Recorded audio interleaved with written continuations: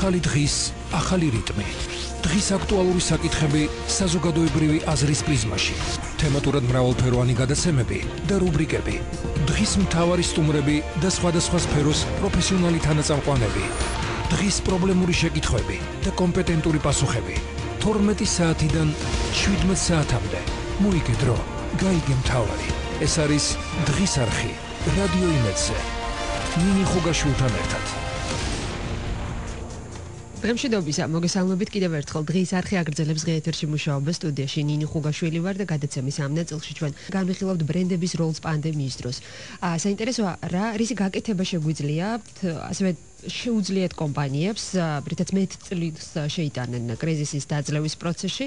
ახალი კვლევა ჩატარდა და ჩვენ გვაქვს შესაძლებლობა ამოусმინოთ მაკენ თბილისის სტრატეგს ოთარ ქირიას ეს არის სტრატეგიული სააგენტო რომელმაც ჩაატარა სწორედ აღნიშნული კვლევა სახელწოდებით როგორ ხედავს ქართველი მომხმარებელი პოსტკორონულ ეპოქას.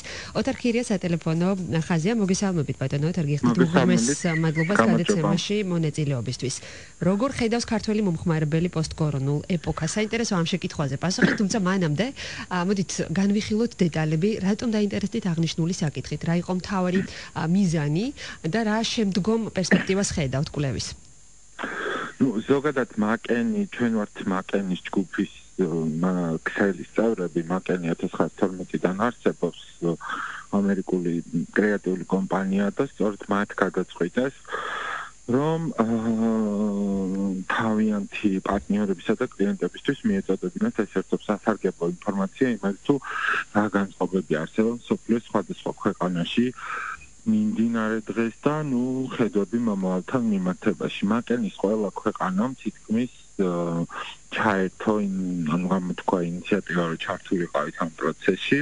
ჩვენ გარდა განხორციელდა 16 ქვეყანაში და ნუ ჩვენ რა თქმა უნდა ქართული მარკეტინგის დამოკიდებლად ჩავატარეთ ეს კლევა რომელიც ეს არის ფარგლებში დაიგეგმა ჩვენი პარტნიორებისთვის და არა მხოლოდ საზოგადოებისთვის. კი ბატონო. ისინი ისახავდა იმას რომ გწოდნოდა დაუშვათ რა განწყობებია დღეს რა მოვედინები შეიძლება კონდეს მოსახლეობას და სამხმარებლო ბაზარს კლიენტების სხვადასხვა ბრენდებისა და კომპანიების მისამართით.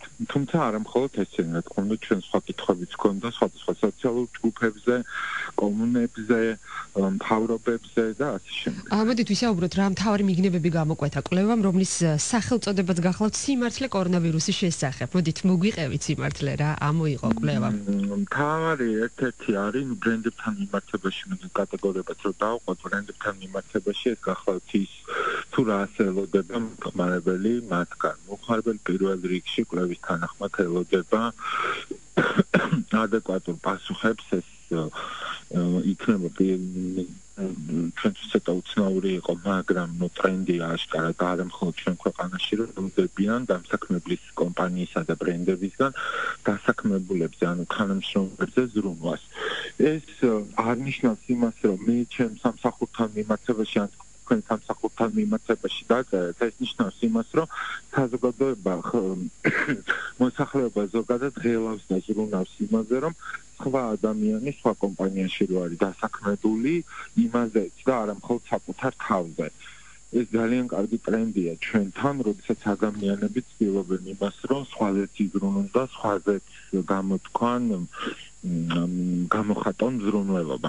სხვათა შორის ანალოგიური განჩენებელი იყო ასე ამერიკის შეერთებულ შტატებსა და იაპონიაშიც და ბრიტანეთში, სხვა ქვეყნებში, რატომღაც ამჯობინეს უფრო პრიორიტეტულად ამჯობინეს საკუთარი ასე ვთქვათ ხელფას, იმიტომ ჩვენს კლუბში იყო კიდევ ერთი ესეთი კითხვა, რომ დაუშვათ რა გაღელვებთ ყველაზე მეტად გარდა ავადობის პრობლემისა, რასაც კორონა რაც კორონავირუსმა დააყენა, რა გაღელვებთ კიდე და იქ იყო რამდენიმე ვარიანტი, მაგალითად ჩვენი ქვეყნის ეკონომიკა გაზარალდება, ვერ ხედა მომავალს და ასე შემდეგ.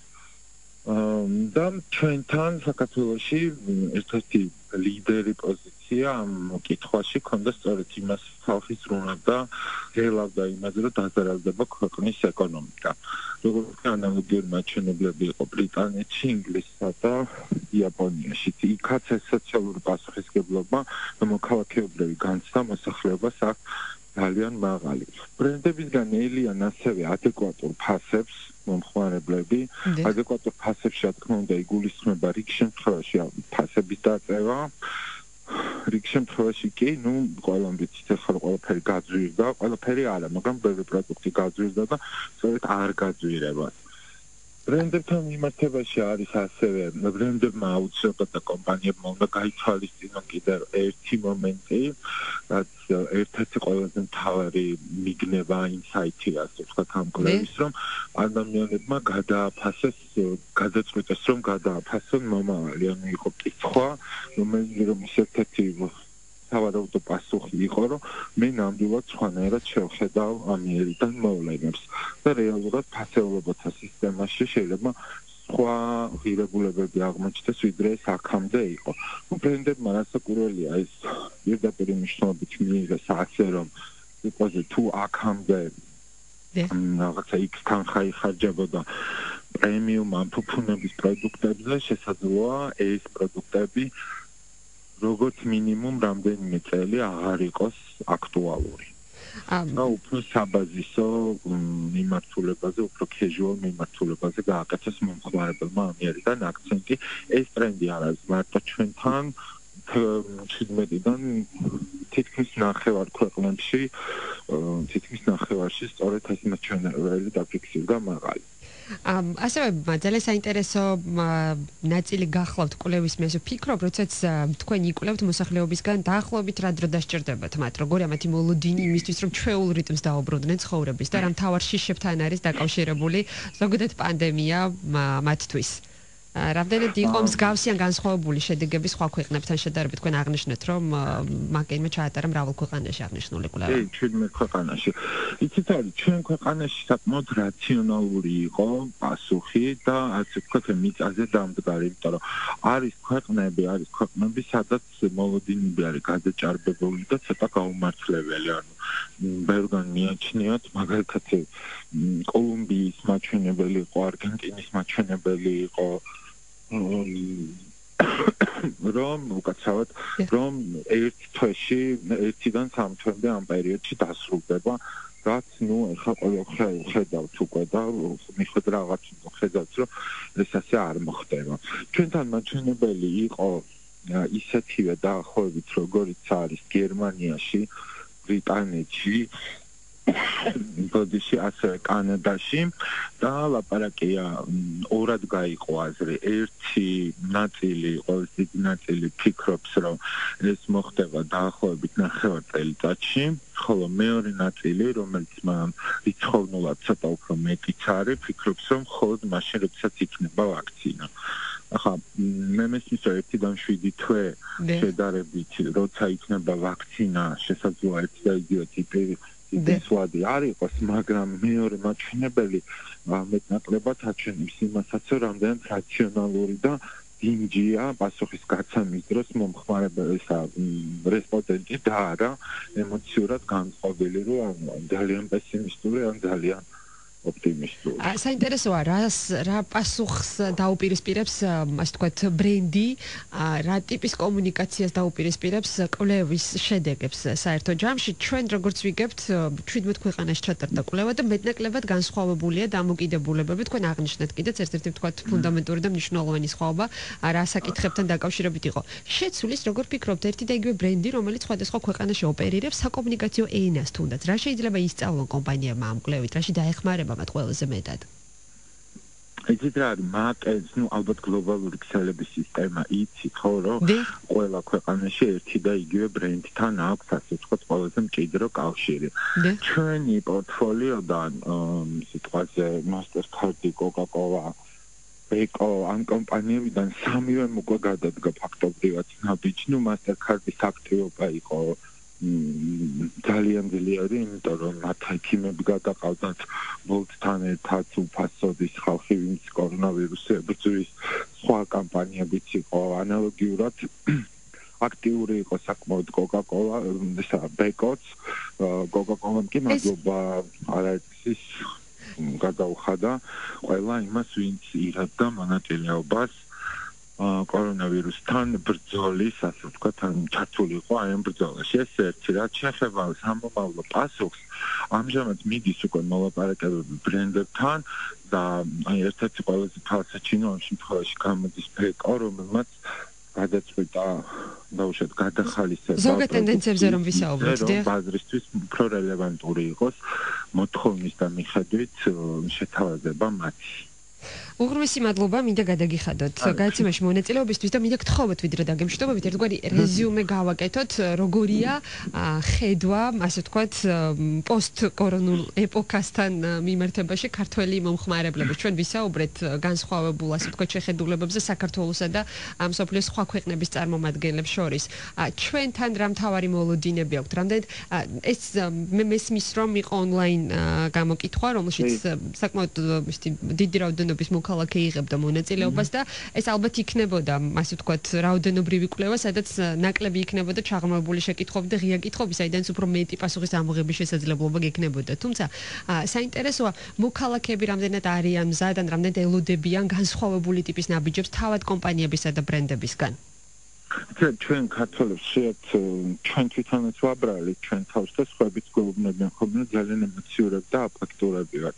აი ამ შემთხვევაში, ამ შემთხვევაში გაირკვა რომ ქალქიობრივი პასუხისგებლობა ძალიან მაღალი გვაქვს ერთი და საკმაოდ რაციონალურებიც ვართ, იმიტომ რომ ის მაჩვენებლები და ლინკიც არსებობს უკვე ყველა შეუძლია ნახოს ამ კლევის შედეგების მაჩვენებლები ცხადყოფს, რომ ჩვენ ძალიან რაციონალურად ვუყურებთ. საკმაოდ გაცნობიერებული გვაქვს ის ზარალი, რაც შეიძლება და რაც რეალურად მოიტანა კორონამ და შეიძლება მოიტანოს ეკონომიკის და წინსული განვითარების კუთხით, მაგრამ არ ვართ განწყობილი ისე, რომ აი დაიქცა და დამთავრდა ყველაფერი. ესეც განწყობა ნამდვილად არ არის შემართება ამ კვლევითაც.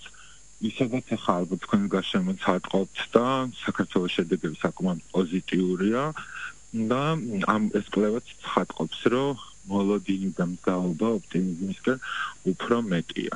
და მასალების განცდაც არის, იმიტომ რომ ძალიან მაღალია მაჩვენებელი ჩვენთან კითხვაზე პასუხისა ექიმები ნამდვილად და მეცნიერები გმირები არიან. კი ბევრ ქვეყანაშია, ბევრ ქვეყანაში უთხრეს მადლობა. ექიმებს, მაგრამ ჩვენთან მაჩვენებელი სადღაც 80%-ს გადაცდა. კი ბატონო. კი ბატონო, უღრმესი მადლობა, მინდა გადაგიხადოთ გაიცემაში მონაწილეობისთვის, გისრო წარმატებები. ჩვენ საუბრობდით კვლევის შესახებ, რომელიც მაგაინ თბილისმა განახორციელა, ეს არის გლობალური ქსელი, რომელსაც აღნიშნული კვლევა ჩაატარა 17 ქვეყანაში და კვლევის სახელწოდება გახლავთ სიმართლე კორონავირუსის შესახებ. საინტერესო, როგორც ჩვენ ეთერში საუბრობდა ოთარ კირა, მაგაინ თბილისის სტრატეგი, ისო განცხადებით კვლევა ძირთად ადგენდა განწყობებს როგორც მიმდინარე პროცესებზე, ასევე სამომავლოდ და როგორც მანვე აღნიშნა, ძალიან საინტერესო იყო საქართველოს მოსახლეობის მოსაზრებები მოლოდინები თავად კომპანიებისა და ბრენდებისგან გადადგმული ნაბიჯების სახით და ის რიგ შემთხვევაში განსხვავდებოდა კიდეც მსოფლიოს სხვა ქვეყნების წარმომადგენლების მხრიდან როგორც ოთარ ქირემ აღნიშნა ჩვენთან საუბარში. კვლევის მიხედვით ჩვენ თამამით შეგვიძლია ვთქვა რომ ქართველები ძალიან რაციონალურად აფასებენ შექმნილ ვითარებას და ძალიან მაღალი საზოგადოებრივი ასე ვთქვათ პასუხისმგებლობა გამოავლინეს კვლევის პასუხებიდან სწორედ აღნიშნული ირკვევა ყოველ შემთხვევაში ეს გახლდათ კვლევა, რომელიც მაგკეინ თბილისმა კორპორაციული სოციალური პასუხისმგებლობის ფარგლებში განახორციელა და განკუთვნილია ერთადერთ რა თქმა უნდა ბრენდებისთვის და კომპანიებისთვის რომ და საკომუნიკაციო ენა რიგ შემთხვევაში არის გადამწყვეტი იმისთვის რომ ამ კრიზისულ ვითარებაში კიდევ უფრო მეტად შეძლონ განავითარონ მათი საქმიანობა. მადლობა მინდა გადაგიხადოთ ყურადღებისთვის მოკლეს არეკლამო ჭრის შემდეგ უკვე განსხვავებული თემით უბრუნდებით ღია ეთერს. ეს არის დღის არხი. რადიო იმედზე. ნინი ხუგაშვილთან ერთად